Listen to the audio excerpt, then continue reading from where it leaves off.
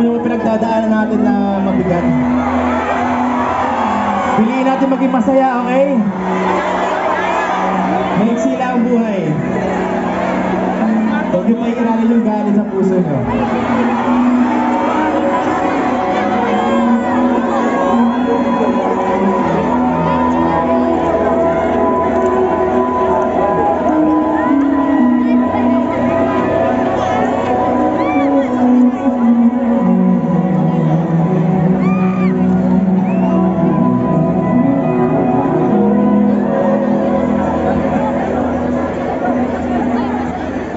Ganyan lang, ganyan lang, ganyan lang.